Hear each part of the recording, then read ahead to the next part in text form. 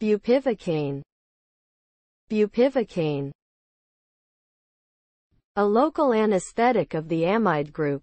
It is a racemic mixture of two stereoisomers. In nerve blocks, it is injected around a nerve that supplies the area, or into the spinal canal's epidural space. It is available mixed with a small amount of epinephrine to increase the duration of its action. It typically begins working within 15 minutes and lasts for 2 to 8 hours.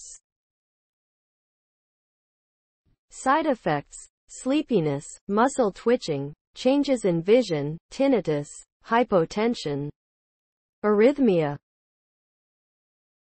Contraindications, hypersensitivity reactions to bupivacaine or aminoamide anesthetics, obstetrical paracervical blocks and intravenous regional anesthesia, Bier block, due to potential risk of tourniquet failure and systemic absorption of the drug and subsequent cardiac arrest.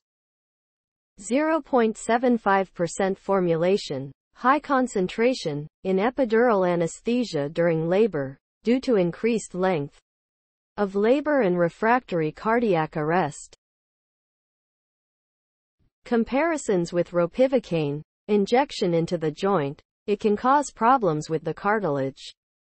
A defect cell structure and increased number of dead cells may be observed under a microscope after injection of lidocaine or bupivacaine, but not ropivacaine. Ropivacaine seems to be a local anesthetic with the lowest toxicity on chondrocytes in joints. Injection into the epidural space. Around the spinal cord, epidural analgesia, epidural freezing. Ropivacaine is a levorotatory propyl homologue of bupivacaine, because of its structural features and physiochemical properties. It is less toxic to nervous system and heart but lower potency than bupivacaine.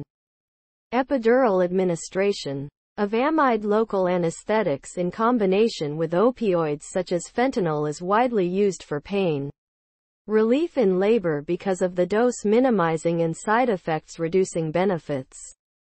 Bupivacaine is the most widely used long-acting amide local anesthetic.